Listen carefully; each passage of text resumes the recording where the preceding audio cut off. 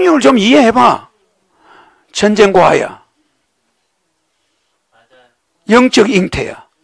영성 잉태야. 중량교 다리 밑에 얼어 죽다가 그 이불도 없는 데서 살아났어. 그래, 안 그래?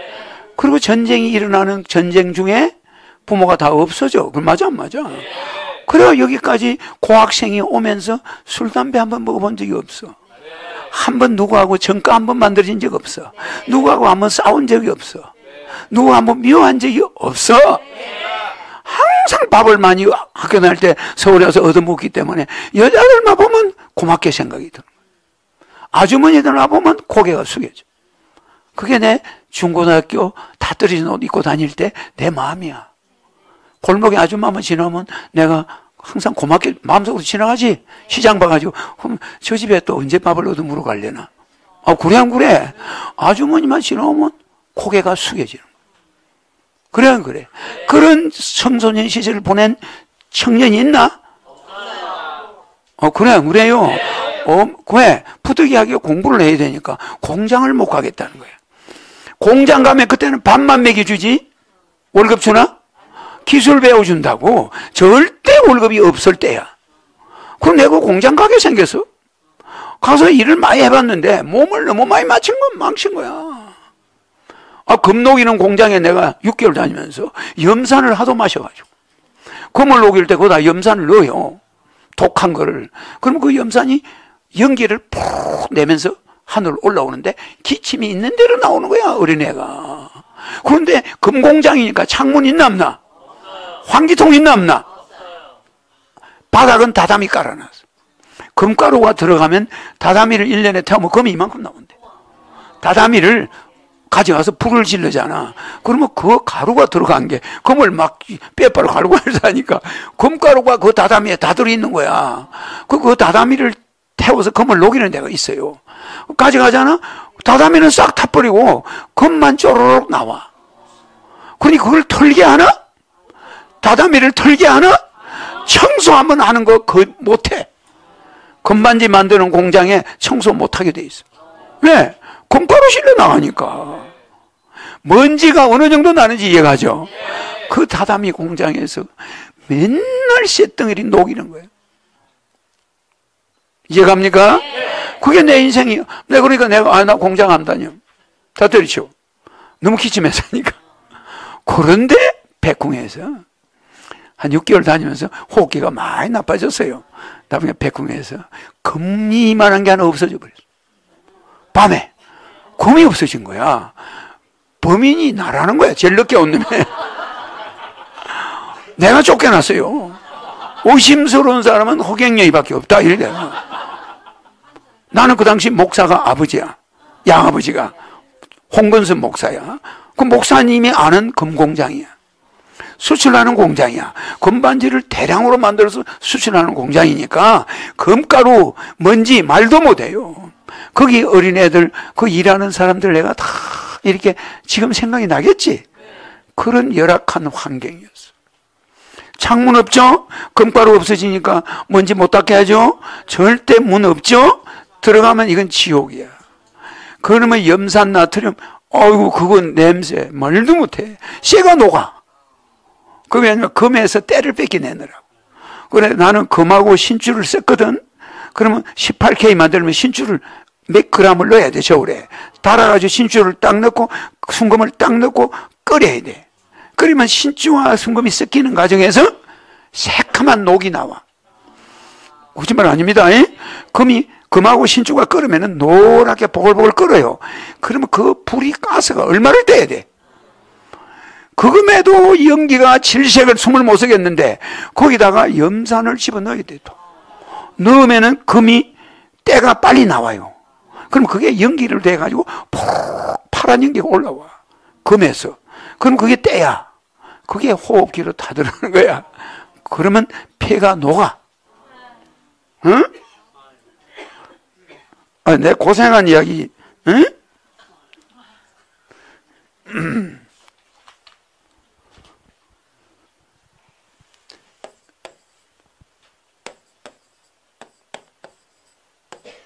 이게 뭐요?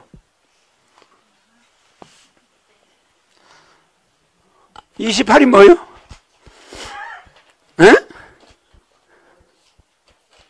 28이 뭐겠습니까? 이게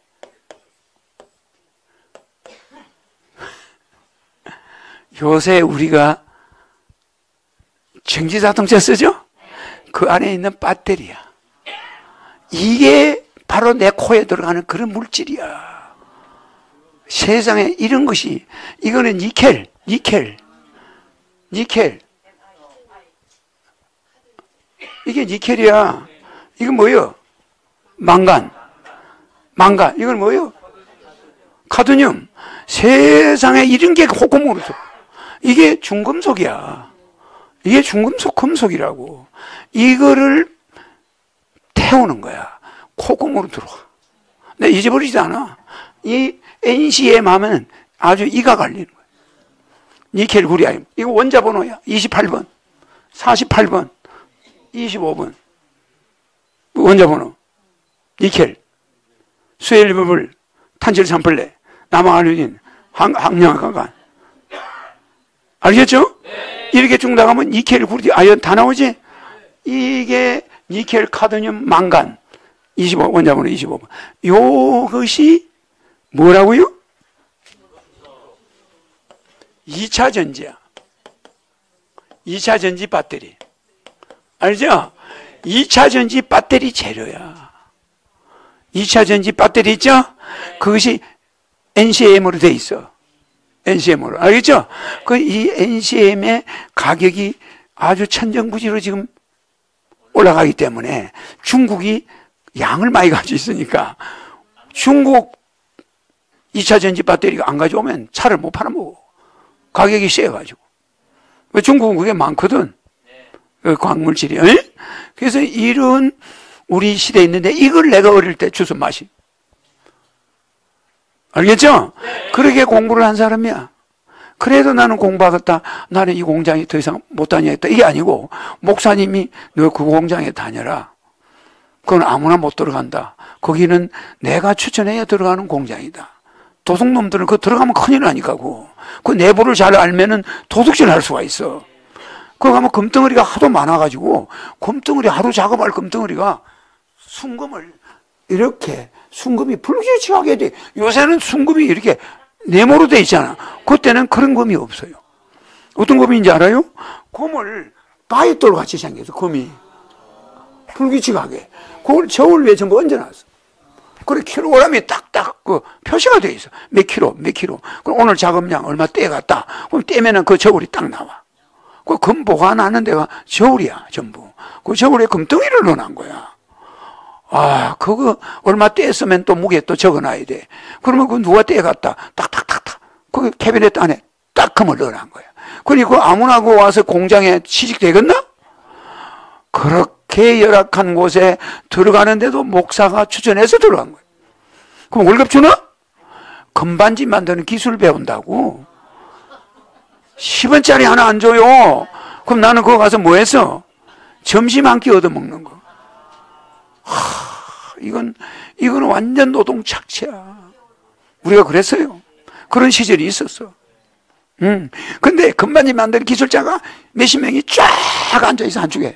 나는 뭐 담당이야? 검 녹이는 거 담당. 내만 매연을 다 더집어 쓰는 거야. 어, 이거 기가 막혀. 그런데 어느 날 검덩이가 없어진 거야. 이게 이제 계산을 하다 보니까 이게 차질이 생긴 거지. 제일 늦게 온 허경영이를 의심하는 거야. 그 바람에 내가 살았어. 아이, 고개 좀 없어지면 빨리 없어지지. 내 마음대로 되는 게 아니야. 저 백궁에서. 그래서 내가 그 공장 딱 나오면서 숨 쉬는 것도 행복하다. 내가 이 금반지 공장 바깥에서 숨 쉬는 것도 행복하다. 목사님이 야 니도 돈 벌어야지. 네가 이 신도들 주는 밥 먹고 있으면 되냐?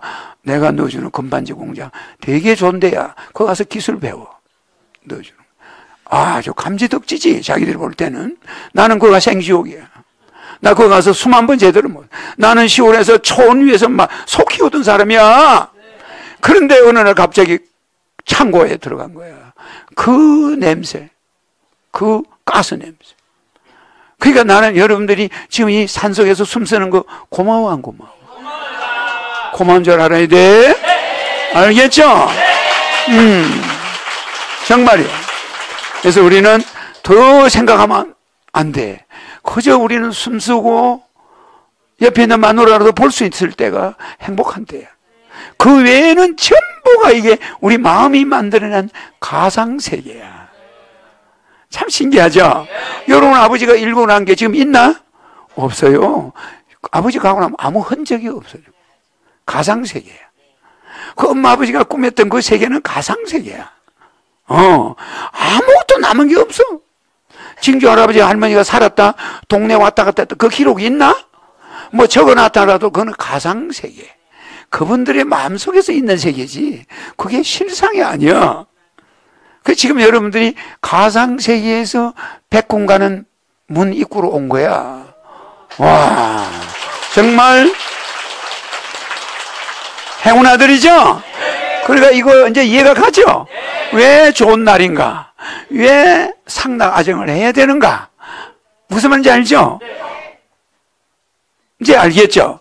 야, 이 맑은 공기 숨 쉬고 있는 거. 어머, 여러 회원들 얼굴 보고 이렇게 기뻐하는 거. 그 눈동자 마주치는 거. 이 이상 기쁨을 찾지 마라. 알겠죠? 그저 먹고 사는 건 있다 보면 다 해결이 돼. 알았죠? 내가 길게 이야기하면 또 재밌는 거 못 봐. 알았죠? 재밌죠? 그러니까 우리는 행복의 바다, 기쁨의 바다에 헤엄치고 있는 거야. 이렇게 예수처럼 너 그 모든 걸 이해해라. 내 오빠를 이해해라. 내 남편을 이해해라. 이러죠? 이 세계 용서해라. 좀 단계가 높죠? 더 올라가면 사랑해라. 그 올라가면 원수를 사랑해라. 이게 최고의 경지야. 여러분 이렇게 못하더라도 가만히 있는 허경영을 이해 못하나? 이해 못하는가? 내가 지나친 거 부탁하나? 내가 이거, 이거 해달래? 이거 해달래? 이해해라. 신인을 이해해라.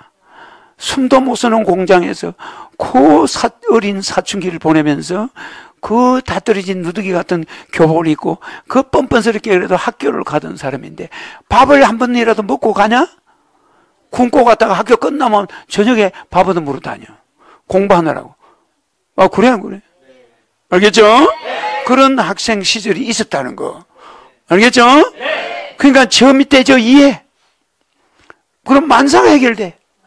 저 이해해버리면 용서할 일이 없어. 이해 안 하니까 용서할 일이 생겨. 용서 안 하니까 사랑하라는 거예요. 맞아? 사랑 위에는 원수까지 사랑하라네. 횟수가 중요한 게 아니야. 원수까지 사랑하래. 1단계, 2단계, 3단계 자동차 기아처럼 올라가는 거야. 알겠죠? 그럼 우리는 행복의 바다, 기쁨의 바다에 지금 있는 거야.